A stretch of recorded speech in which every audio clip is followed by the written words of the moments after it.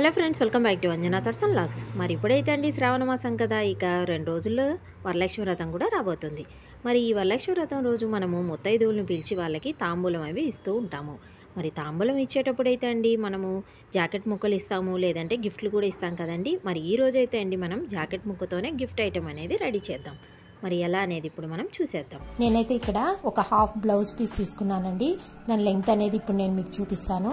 నేనైతే ఇక్కడ దుప్యాన్ సిల్క్లో తీసుకున్నాను. కాస్త వెరైటీగా ఉండాలి కదండి. మరి కాటన్ క్లాత్ అయితే బాగుండదు. ఇలాంటి బ్యాగ్స్ కొంచెం సిల్క్ క్లాత్ అయితే బాగుంటాయి. సో ఇక్కడ నేను లెంగ్త్ అయితే ట్వంటీ ఎయిట్ ఇంచెస్ తీసుకున్నాను.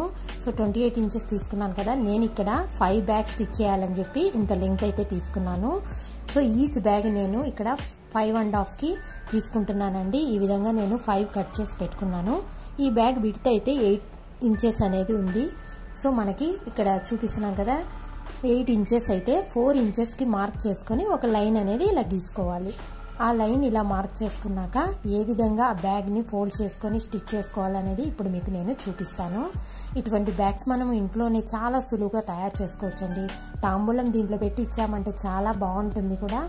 మనమే మరి ఇంట్లో తయారు చేసుకొని గిఫ్ట్స్ అనేవి కూడా ఇచ్చామంటే మనకు కూడా సంతోషంగా ఉంటుంది కదండి. సో ఈ విధంగా ఫస్ట్ చిన్నది ఒక హాఫ్ ఇంచ్ లాగా ఫోల్డ్ చేసుకోవాలి. దాని తర్వాత ఇలాగా మార్క్ చేసిన దగ్గరికి ఇంకొకటి ఫోల్డింగ్ అనేది చేసుకొని రెండు సైడ్లు ఇలా బాగా ప్రెస్ చేసి పెట్టుకున్నామంటే మనకి స్టిచ్చింగ్ అప్పుడు చాలా సులువుగా ఉంటుంది. రెండు సైడ్లు ఈక్వల్గా ఉండాలి. అందుకే నేను ఇలాగా ప్రెస్ చేసి పెట్టుకున్నాను. ఇంకా స్టిచ్చింగ్ అనేది ఇప్పుడు మనం చూద్దాం. సో ఇక్కడ మనం మార్క్ చేసిన లైన్ దగ్గరికి ఫస్ట్ చిన్న ఫోల్డ్ చేసాం కదండి. ఆ ఫోల్డింగ్ని మళ్ళీ ఫోల్డ్ చేసి ఇలా స్టిచ్ చేసుకోవాలి. రెండు వైపులా మనం ఇలా స్టిచ్ చేసుకోవాలి. ఇలా స్టిచ్ చేసుకున్నాక ఇది మనకి దుపియాన్ సిల్క్ కదండి. సో మనకి పక్కన సైడ్లో పీసెస్ అనేవి వచ్చేస్తూ ఉంటాయి. సో అవి కూడా రాకుండా నేను ఫినిషింగ్ అయితే చేస్తున్నాను. అది కూడా మీకు ఇప్పుడు చూపిస్తాను.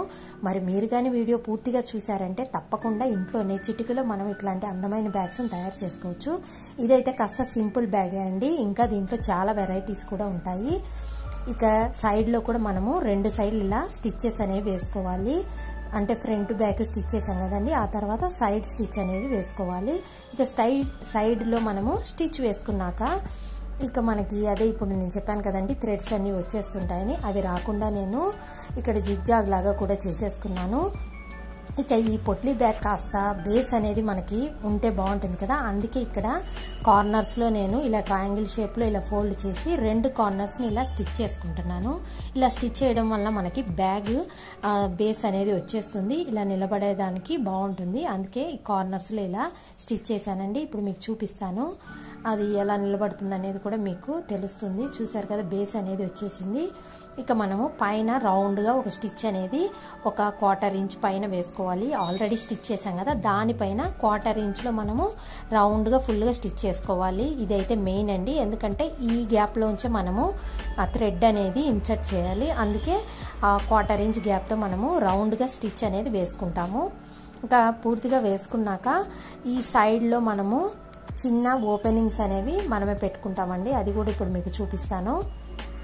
చూస్తున్నారు కదండి. ఆల్రెడీ ఆల్మోస్ట్ బ్యాగ్ అయితే అయిపోయింది ఇంకా. ఇక లాస్ట్ ఏముందంటే జస్ట్ మనం ఓపెన్ పెట్టుకోవాలి. అక్కడ చూపిస్తున్నాం కదండి. అక్కడ జస్ట్ అట్లాగా కట్ లాగా ఇలా పెట్టుకున్నామంటే అక్కడ నుంచి మనము ఈ థ్రెడ్ అనేది ఇన్సర్ట్ చేసుకోవచ్చు.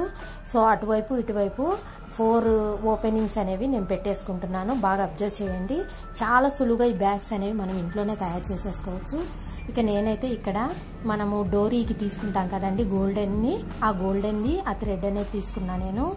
అది ఒక ట్వెల్వ్ థర్టీన్ ఇంచెస్ వరకు మన ఇష్టం. కొంచెం లెంగ్త్ ఉన్నా పర్వాలేదు. ఒక ఫోర్టీన్ ఇంచెస్ వరకు తీసుకోవచ్చు. తీసుకొని ఇక్కడ నుంచి ఇన్సర్ట్ చేసుకోవాలండి. ఫస్ట్ ఒక సైడు ఓపెన్ నుంచి రౌండ్గా ఇన్సర్ట్ చేసుకోవాలి.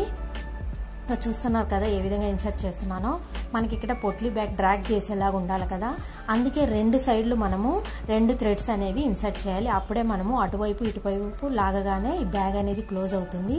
సో ఫస్ట్ ఒకవైపు అయితే ఇన్సర్ట్ అయిపోయింది కదా. ఇక్కడ ఇంకా రెండో వైపు వచ్చి ఇటు థ్రెడ్ ఉంది కదా ఆ సైడ్ కాకుండా ఇంకొక సైడ్ నుంచి మనం ఇన్సర్ట్ చేసుకోవాలి. సో ఇలా రెండు వైపులా మనము థ్రెడ్ అనేది ఇన్సర్ట్ చేసేసుకుంటాము. ఈ ఈ గోల్డెన్ది అయితే చాలా బాగుంటుందని లుక్ కూడా ఉంటుందని నేను ఈ గోల్డెన్ యూజ్ చేశాను. ఇక దీనికి వుడెన్ బీడ్స్ కూడా ఎండ్లో పెట్టేస్తున్నానండి. లుక్ అనేది మనకు కాస్త వెరైటీగా ఉండాలి కదా అందుకోసం నేను ఈ విధంగా డిజైనర్గా తయారుస్తా తయారు చేస్తున్నాను. చూడ్డానికి అయితే చాలా సింపుల్గా ఉంది కదండి తయారు చేయడానికి కూడా. కానీ బ్యాగ్ అయితే చాలా ముద్దుగా బాగుంది కదా. సో మరి ఇలాంటి బ్యాగ్స్లో మనం తాంబూలం ఇచ్చామంటే వాళ్ళకు కూడా చాలా బాగా నచ్చుతాయని అనుకుంటున్నాను. సరే మీరు కూడా మరి సులువుగా ఇలాంటి బ్యాగ్స్ తయారు చేసుకోండి. ఈ శుక్రవారం రోజు ముత్తైదువులకి వాయనంగా ఇందులో పెట్టి తాంబూలం ఇవ్వచ్చు. మరి మీరు కూడా ఒక్కసారి ట్రై చేసి చూడండి.